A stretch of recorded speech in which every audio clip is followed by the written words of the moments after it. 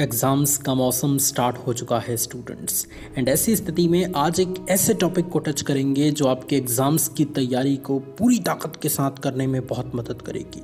या यूँ कहें कि आपके एग्ज़ाम्स की तैयारी में चार चाँद लगाने में बहुत मदद करेगी.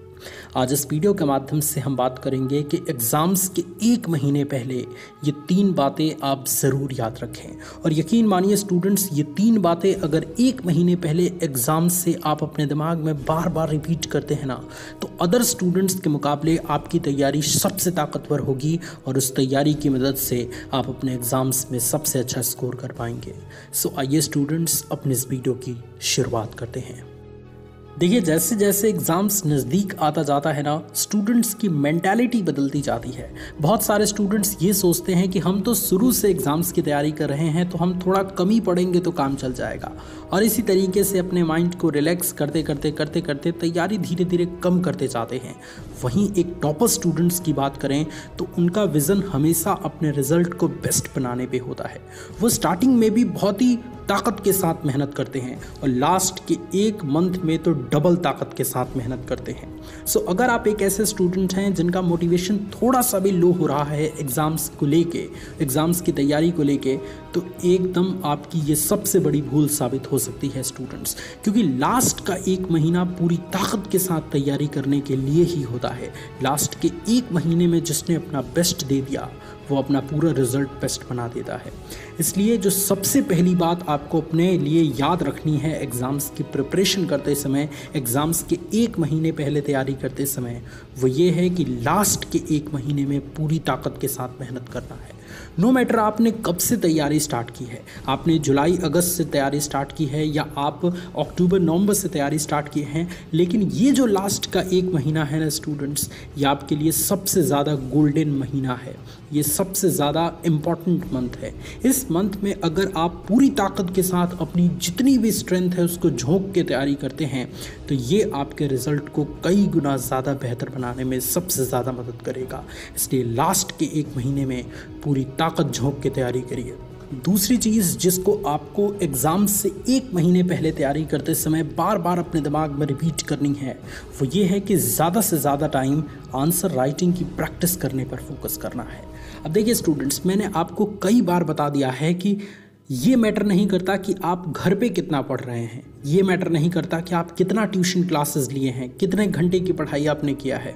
ये मैटर करता है कि एग्ज़ाम हॉल में, एग्ज़ाम्स की कॉपी में आप किस तरीके से आंसर को रिप्रेजेंट करके आते हैं। और यकीन मानिए, अगर घर पे या ट्यूशन क्लासेस में या स्कूल में आपने लिख कर आंसर्स की प्रैक्टिस नहीं की है तो एग्ज़ाम हॉल में आपका पेन बिल्कुल नहीं चलेगा। आप उस तरीके से आंसर राइटिंग नहीं कर पाएँगे जिस तरीके से एक टॉपर स्टूडेंट्स करते हैं। तो क्यों ना एक महीने पहले से ही ये आदत इस तरीके से बिल्डअप की जाए कि एग्जामिनेशन हॉल में जाते जाते आप इतना प्रैक्टिस कर चुके होंगे कि कॉपी को बहुत अच्छे तरीके से लिखें। इसलिए एक महीने पहले से ज़्यादा से ज़्यादा टाइम आप आंसर राइटिंग की प्रैक्टिस करना शुरू करिए।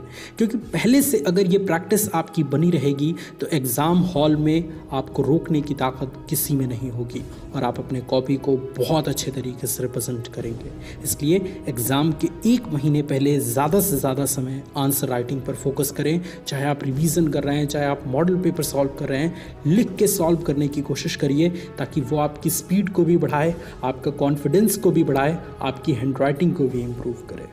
तीसरी और आखिरी चीज़ जिसको आपको एग्ज़ाम से एक महीने पहले तैयारी करते समय अपने माइंड में बार बार रिपीट करनी है कि एग्ज़ाम के एक महीने पहले पूरी तरीके से गायब हो जाना है।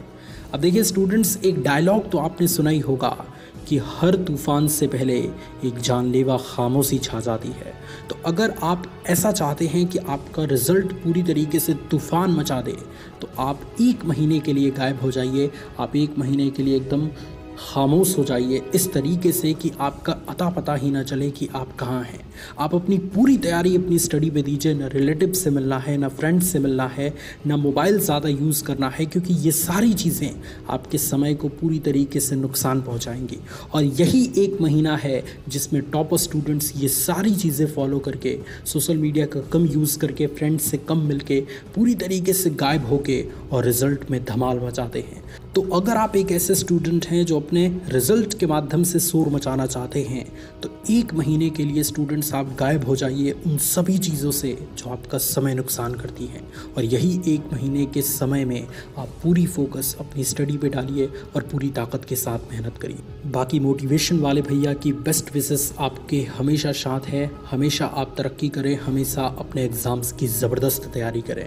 मुझे उम्मीद है स्टूडेंट्स की मेरी ये वीडियो आप सभी के लिए बहुत हेल्पफुल रही होगी। अगर ये वीडियो पसंद आया तो इस वीडियो को लाइक करिए। और देखिए स्टूडेंट्स मैं देख रहा हूँ कि आप में से बहुत ही कम स्टूडेंट्स अभी चैनल को सब्सक्राइब कर रहे हैं। तो एग्ज़ाम टाइम है स्टूडेंट्स चैनल को सब्सक्राइब कर दीजिए ताकि इसी तरीके का ज़बरदस्त कॉन्टेंट हमेशा आपको मिलती रहे। Thank you so much students for watching this video God bless you all love you all students take care